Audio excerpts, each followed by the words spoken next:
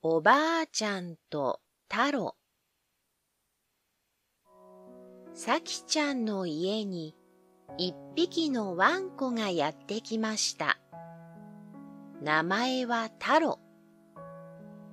数日前に天国へ旅立ったおばあちゃんが飼っていた犬でした。太郎とさきちゃんは生まれた年も誕生日も一緒だったので大の仲良しでした。太郎、今日からここが新しいお家だよ。太郎ははじめ、キョロキョロと不安そうにしていましたが、仲良しのさきちゃんのおかげもあって、すぐに慣れました。公園で思いっきり走ったり、家でもボール遊びやら、かくれんぼやらをして、たくさん遊びました。しばらくして、さきちゃんの5歳の誕生日がやってきました。さき、太郎、おめでとう。さきちゃんにはいちごの乗ったケーキ、太郎には犬用のケーキが出され、みんなでお祝いをしました。さきちゃん、これはおばあちゃんから。そう言ってママがテレビをつけてリモコンを操作すると、おばあちゃんの姿が画面に映し出されました。さきちゃん、5歳のお誕生日おめでとう。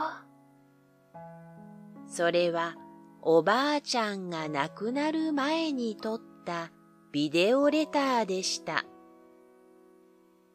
ああ、おばあちゃんがテレビに映ってる。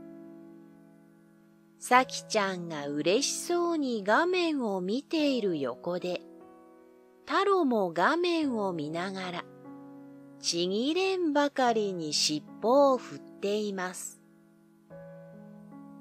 さきちゃんへのメッセージが終わり、テレビを消そうとすると、太郎、とおばあちゃんのメッセージが続きました。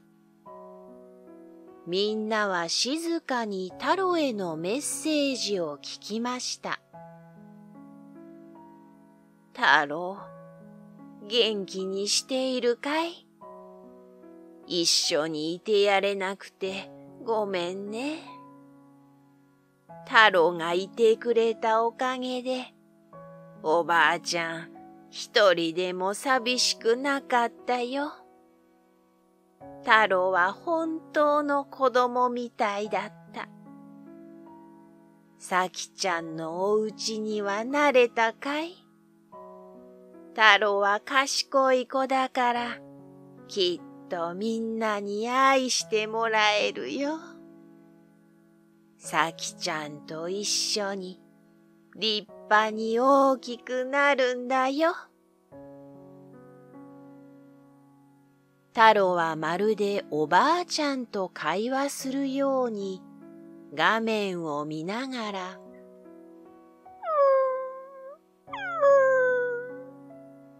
と甘えたような声を出していました。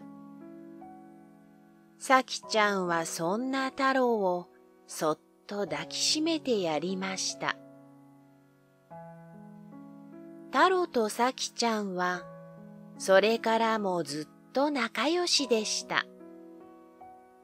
時には襖を破いて怒られたり、ご飯を盗み食いして怒られたり、まるで本当の兄弟のように育っていきました。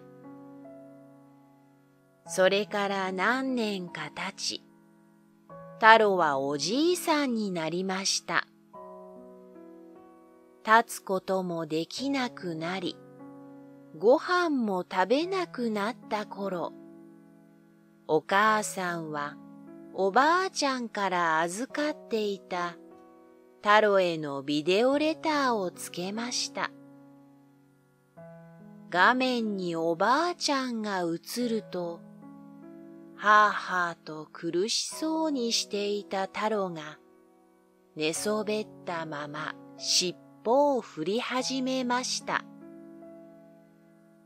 さきちゃんは、そんな太郎にそっと寄り添い、体をさすってやりました。太郎、お前もおじいちゃんになったんだね。幸せに過ごせたかい？頭を撫でて体をさすってあげられなくてごめんね。でも、さきちゃんもパパもママもいるから安心するんだよ。みんな太郎のことを愛しているから、大丈夫、大丈夫。おばあちゃん、天国で待ってるからね。大丈夫、大丈夫。